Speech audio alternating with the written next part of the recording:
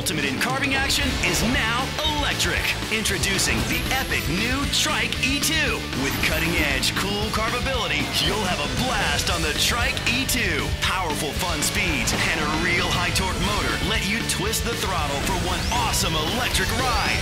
On the eTrikke E2, you can tear up the concrete or cruise with your friends. For the ultimate ride, check out the eTrikke E2, only from Razor.